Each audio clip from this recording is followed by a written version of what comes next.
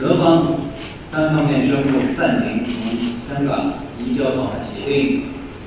法方宣布暂停批准同香港移交逃犯协定。德法这种做法将对香港司法合作政治化，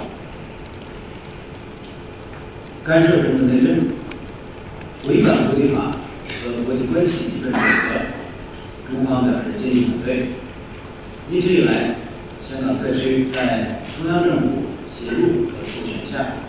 根据基本法，在移交逃犯协定框架下，向德方提供了积极协助，并已批准港法移交逃犯协定。德法的错误情错误情境，损害了香港特区同德法开展司法合作的基础。偏离了司法合作、维护正义和法治的宗旨。为此，中方决定，香港特区将暂停履行港德移交逃犯协定，搁置港法移交逃